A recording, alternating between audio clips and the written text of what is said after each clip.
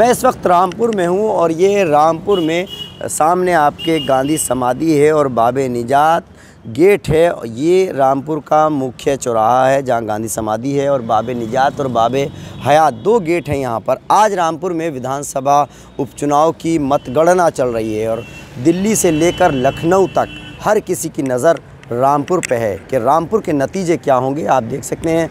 कि सुबह का वक्त है, चहल पहल है, लोग जो है अपने कामों के लिए निकल रहे हैं। हम यहाँ रामपुर की जनता का जो है वो मूड जानने की कोशिश करते हैं कि आज जो मतगणना हो रही है, रामपुर की जनता उसको लेकर क्या सोच रही है, रामपुर की जनता के मन में क्या चल रहा है, क्या ये यहाँ पर इस बार राजनीतिक परिवर्तन होने वाला है, या फिर एक बार फिर समाजवादी पार्टी की ही आएगी यहाँ पर लहर।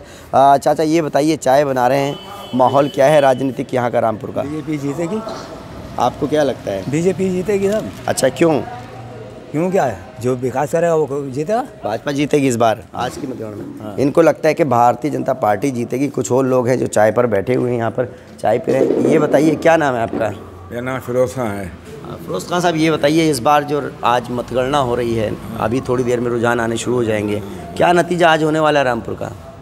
बीजेपी। भारतीय जनता सौ परसेंट।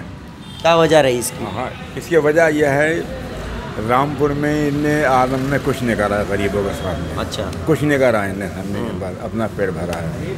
तो इस बार रामपुर की जनता जो है वो बदलाव कर रही है? हाँ बदलाव बदलाव कर रही। है देखिए हमें तो काम से मतलब है।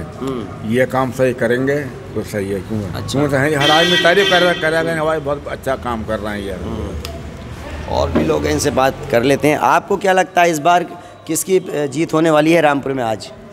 बीजेपी की सरकार बनने वाली है सरकार। है?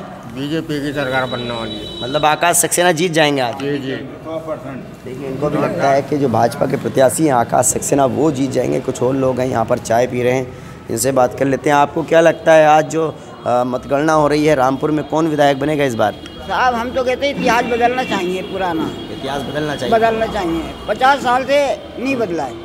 अब बदल अब बदलना चाहिए। बदलना चाहिए। बदलना चाहिए। तो मतलब समाजवादी पार्टी के जो इतिहास रहा है यहाँ से चालीस पैंतालीस सालों से तो इस बार बदलना चाहिए आपको बदलना चाहिए बदलना चाहिए। तो बदल जाएगा आज?